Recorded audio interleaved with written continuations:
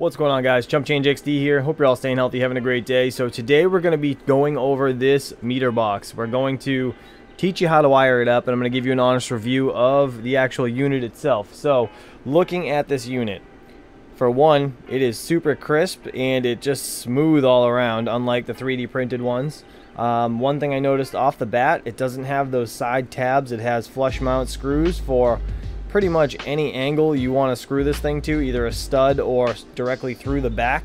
Um, also, this is changeable, like you can move it around in different angles, so the port wire can come in from the top, the left, right, whatever, doesn't matter how you angle it. And then this plastic is very high quality. I don't know if you've ever uh, bent a piece of plastic or like hit one that's turned white when it bends, it doesn't break that's probably the plastic that this is made out of. It seems uh, it seems super durable. Just kind of looking right there where the injection mold was. That's kind of the break off point. So you can just tell that this is a high grade plastic and you're probably not going to have any issues. Um, and then the last thing I want to talk about is the fact that how deep this actual box is. It's so much deeper than the 3D printed models that we see around the mining space. So that's a huge plus for me.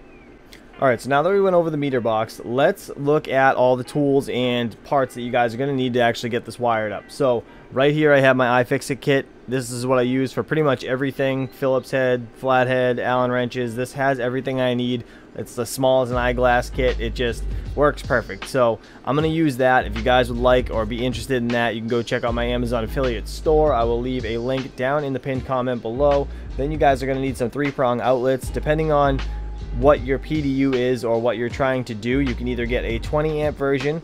This is a three prong rated for 250 volts. As you can see, 20 amp, and there is the model number if you guys need it. Then we have a 30 amp one. This is the box that it comes in right here. This is also a three prong plug that is rated for 250 volts. This is an L630 if you guys are interested in that model number.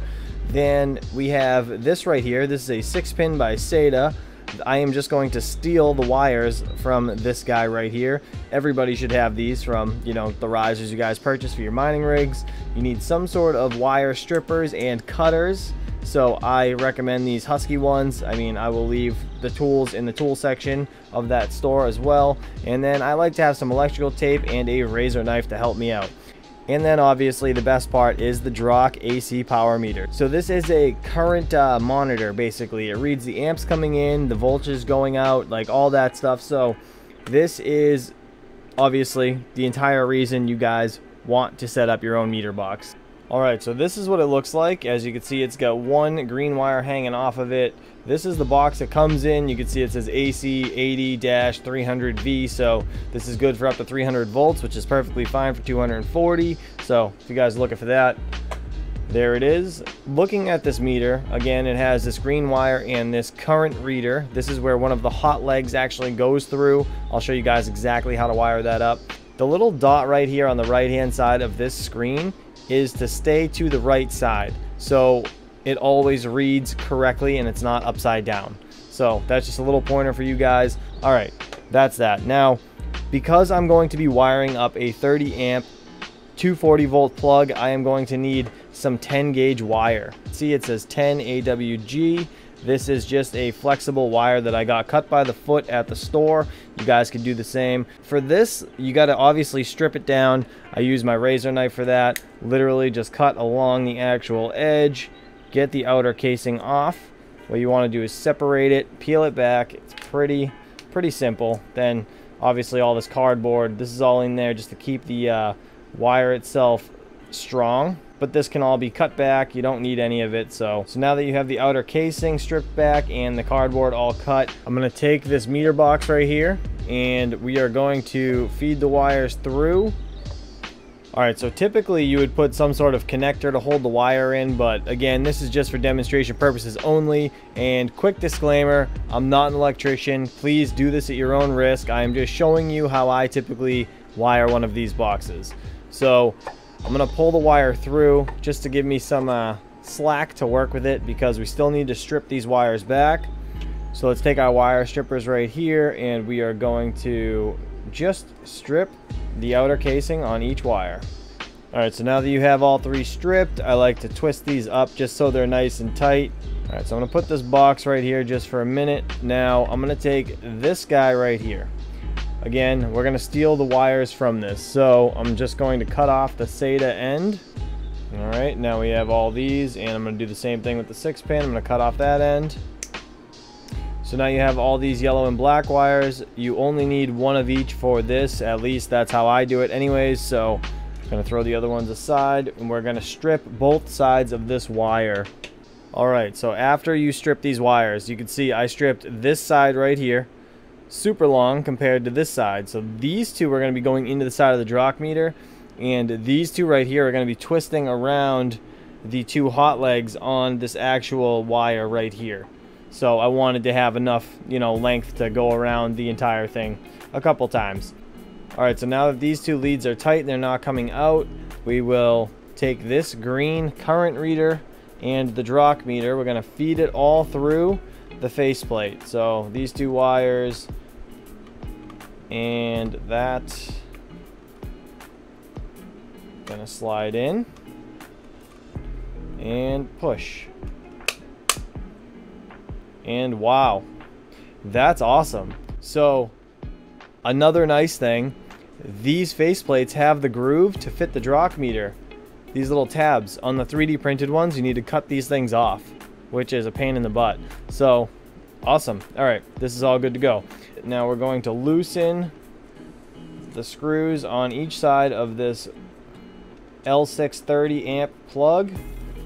Obviously, the green is the ground and the other two are both the hots. Alright, so now we're going to take the wire and the plug and we are going to install the ground first. That's typically what I like to do. Alright, so that's all connected. Now we have, obviously, the two hot legs. Typically, this is a neutral, but in 240 volts, you don't have a neutral, you just have two hots. So each one carries 120 volts. So now we're going to take the circle from the DROK meter and we're going to feed it over the white wire. Then we're going to take the yellow wire and we're going to twist it alongside the white. Alright, so once you twist the yellow and the white ends together, I snipped it back just a little bit so it wasn't as long.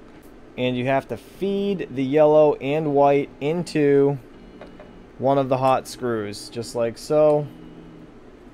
Tighten it up, just like that. So again, the circle goes over the white. One of the leads from the other side of the DROK meter goes to one of the screws with it. Then we're going to take this black wire from the green port on the DROK meter to the other black wire, which is the other hot feed, and we're going to screw it into the opposite side of the plug.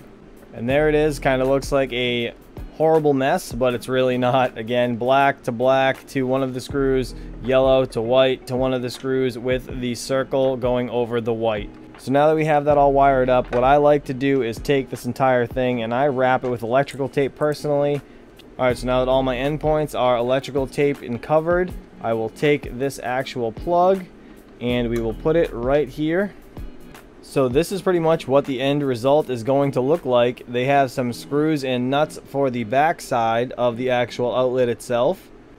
Then you more or less pull the wire back to get everything into the box and this thing unlike the 3D printed ones, fits perfect. Like there's plenty of room for it all to fit. The 3D ones, you really got to jam everything in, but this is great. I love it. This thing looks absolutely phenomenal. I cannot wait to get the rest of these set up as you can see right there, and they're going to be going in my grow tent setup. So stay tuned for that video. Just before I let you guys go, I wanted to let you know for the month of March, we're to be partnering up with the MeterBox company. They're actually going to be giving away an 8 GPU server case on my channel which is amazing. It's going to be decked out with 2400 watts of server PSUs, going to have a full 8 GPU riserless motherboard, and literally everything you need except for the GPUs to start your own mining rig. So that's amazing in itself purchasing these meter boxes, every $5 you spend on their website, you get one entry. But if you purchase the chump green color, you guys literally get double the amount of entries that you would normally.